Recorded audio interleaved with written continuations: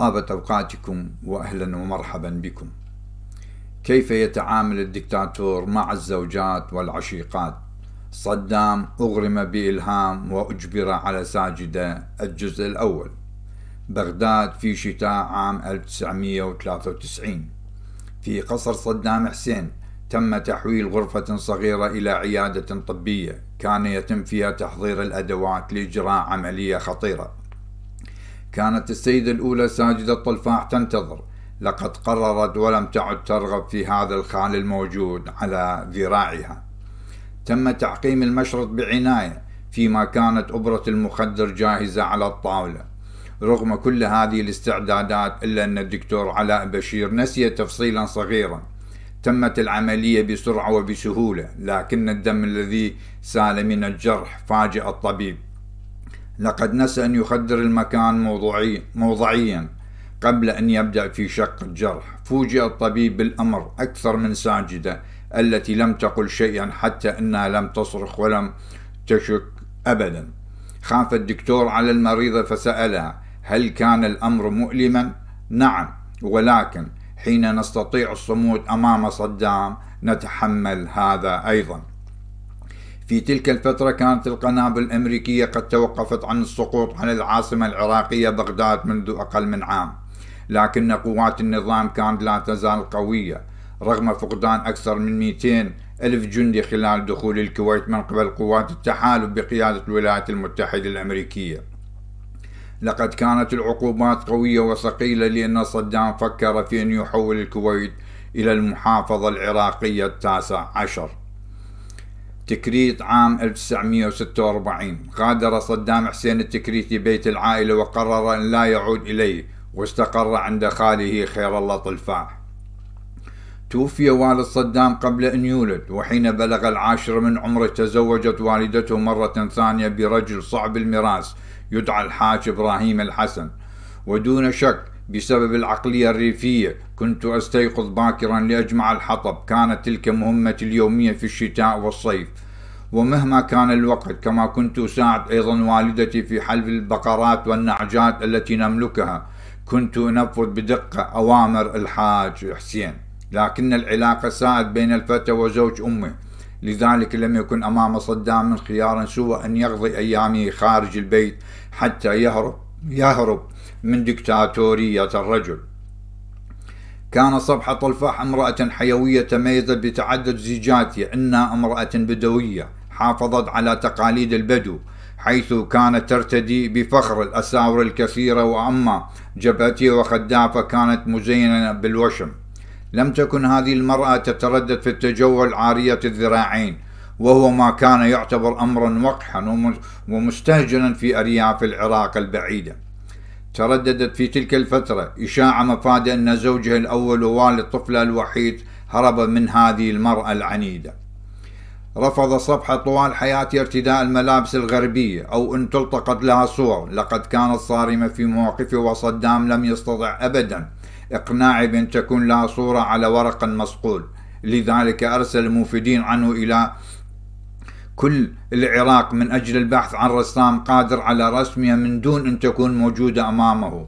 يقول رئيس البروتوكول السابق لصدام حسين لقد عمل الرسام متخفيا وراء مرآة غير مسبوقة حتى لا تدرك صبحة أن هناك من يرسمها. في بيت الخال خير الله طلفاح. بدأ بيت الخال طلفاح أكثر ترحابا بالولد خاصة في وجود أطفال آخرين في مثل عمره كابنتي خالي ساجدة وإلهام إضافة إلى شقيقهما عدنان. كانت ساجدة أكبر من شقيقتها حيث احتفلت ذلك العام بعيد ميلادها العاشر. وكانت تشارك صدام اللعب ومعه أيضا كانت أولى خطواتها في المدرسة. بسرعة أصبح صدام تلميذا نجيبا وعن أول يوم له في المدرسة يقول أحد زملائي في ذلك اليوم لم يتوقف عن رفع دشداشته حتى يرى زملاء ملابسه الداخلية. كان يعتقد بأن أفضل شيء يملكه الفرد ويتمنى إبرازه. وتعرف سادة جيدا ما يمكن أن ينجم عن غياب الأب. فخير الله طلفاح عسكري شاب ناضل ضد الحماية البريطانية في العراق في عام 1920 وبينما انتقلت ابنتي إلى الصف السادس انتهز خير الله طلفاح ضعف الإنجليز المؤقت ليحاول, برفقة مجموعة من الضباط تشكيل حكومة متعاطفة مع النازين لطرد إنجلترا من البلاد. لكن ألقي القبض عليه وسجن طيلة خمس سنوات بقي خلالها ساجدة مثل اليتيمة. لكن حقيقة هناك روايات آه، أخرى وكلام آخر عن خير الله الطلفاح آه، عن سجن لمدة خمس سنوات غير السبب المذكور ما يورد هنا. وأيضا آه، يعني حقيقة يعني خير الله طلفاح تبقى اوراقه وصفحاته مطوية جدا. ويعني عامة الناس يعرفون بأنه خير الله طلفاح استولى على بيت فلان على أراضي فلان. لكن القضايا السياسية واتصالاتها مع الدول لحد الآن غير واضحة بصورة آه، يعني حقيقة أمام أعين الناس. الجندي المراقب. ساجدة هي أفضل شاهد على أول مشاعر السياسية التي كانت تسيطر على ابن عمتها صدام. لقد كان منتبه منتبه منتبها لتعليمات الأب البديل خير الله وناضل إلى الجانب في انتفاضة 1952 ضد الوجود العسكري البريطاني الذي كان يحول دون تمتع العراق بالاستقلال الفعلي. وأيضا هنا مثلا حقيقة ذكر روايات أخرى. من جهة يقولون بأنه ناضل ضد الاستعمار الإنجليزي ومن جهة الأخرى هنا روايات أخرى تقول بأنه خير الله الطلفاء عمل كاتب طابعا في السفارة الإنجليزية في بغداد. وكما يقال شيء ما يشبه شيء تبع صدام خطوات خارج ذلك حاول بعد عامين اجتياز مسابقة الانضمام إلى الأكاديمية العسكرية لكنه فشل. وأما ساجدة التي كانت ترغب في أن تصبح معلمة فقد واصلت تعليمها بينما هو اضطر لإعادة توجيه أوهامه الضائعة وأصبح زعيم عصابة سرية.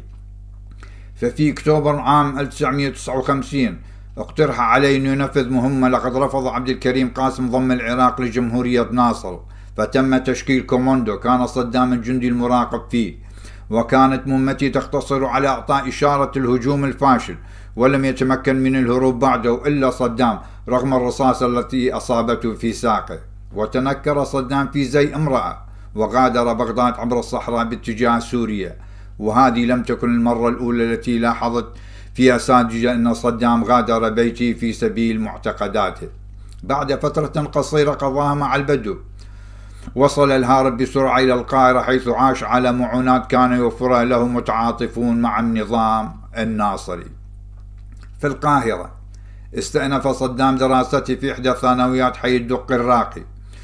وسجل في كلية الحقوق القاهرة في تلك الفترة ابتعد صدام عن الصعلكة حيث أصبح الطالب الشاب يتردد على شرفات مقاهي إنديانا وترياما لشرب الشاي والحديث عن الاشتراكية والوحدة العربية أو اللعب الشطرنج.